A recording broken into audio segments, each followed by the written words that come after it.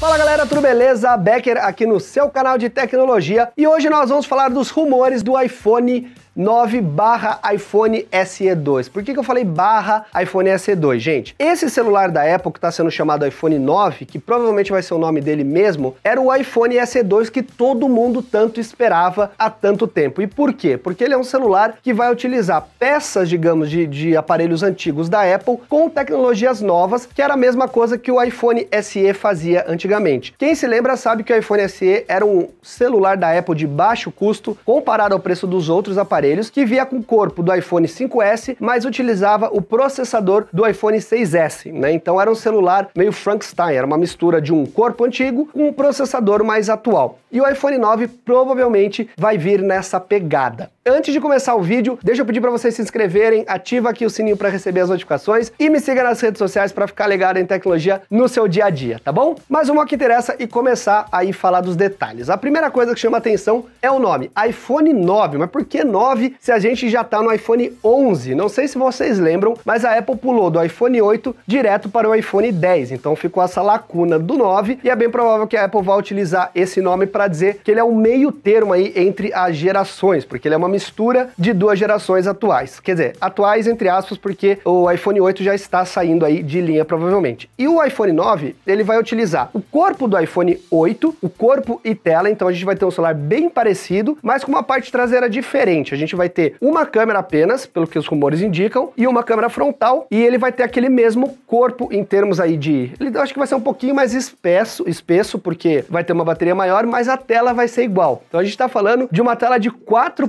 1.7 polegadas, com borda em cima, borda embaixo e borda dos lados. É borda pra caramba. É um, é um celular a moda antiga. Isso é o que mais me chamou a atenção. A gente ter uma tela em 2020 com tantas bordas assim e relativamente pequena, porque 4.7 polegadas a gente sabe que não é uma tela grande hoje em dia. Mas outra coisa que chama muita atenção é o hardware do iPhone 9. Ele vai utilizar o mesmo chipset do iPhone 11, então a gente vai ter o A13 Bionic, que é um processador parrudo pra caramba. Ele é praticamente um processador topo de linha que bate de frente aí com até supera o Snapdragon 8 855 em vários quesitos e tal. É um, um processador que pode ser considerado um monstro e ele vai vir num celular de baixo custo da Apple. Então é a mesma jogada que a gente via aí no iPhone SE. Né? A gente tem um corpo de um celular antigo com tecnologias e peças aproveitadas, antigas, mas utilizando-se um hardware novo. Outra vantagem que a gente vai ter de utilizar o A13 Bionic é que a câmera dele, apesar de ser uma câmera mais simples, deve vir com bastante tecnologia embarcada dos celulares atuais da Apple. Então a gente vai ter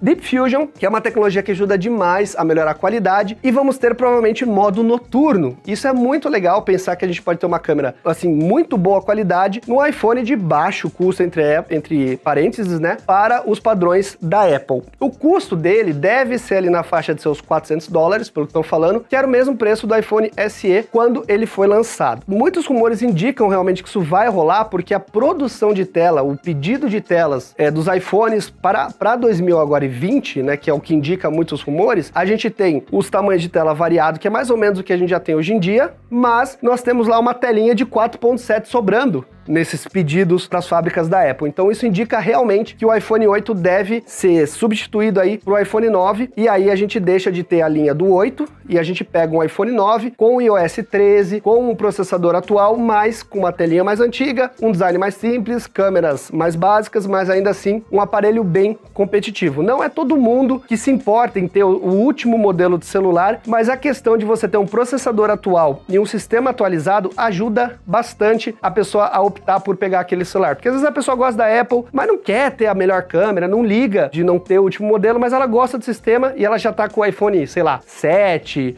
iPhone 6S ou um iPhone 8 que já está mais antiguinho e já começa a ter aqueles problemas de atualização. Tem vários celulares da Apple que já não tem mais atualização. Acho que o 6 ou 6S eles já pararam de atualizar. Então o iPhone 9 vem com uma boa opção para o mercado emergente, que seria Brasil, Índia, outros países, e também para os Estados Unidos, para quem quer aquele baixo custo. Eu quero saber o que, que vocês acham se a Apple lançar esse aparelho com essa tela de 4.7 é, polegadas, você compraria um se ele custasse assim? No Brasil eu duvido que ele ele venha custando menos do que 3 mil reais. Tá? A gente sabe que mesmo custando 400 dólares lá, que dá algo em torno de 1.600, no Brasil ele viria bem mais caro, uma característica da Apple, no Brasil é tudo sempre mais caro, mas ainda assim é um celular que seria bem mais barato comparado aos outros modelos. Eu acho que o que mais pega quando eu olho, assim, os rumores do iPhone 9 é a questão da tela. Cara, uma tela de 4,7 polegadas, é, 7 polegadas hoje em dia é bem difícil de imaginar, né? Aquele quadradão com um monte de borda, sendo que a gente já tá acostumado com qualquer aparelhinho aí que você pega e chubrega de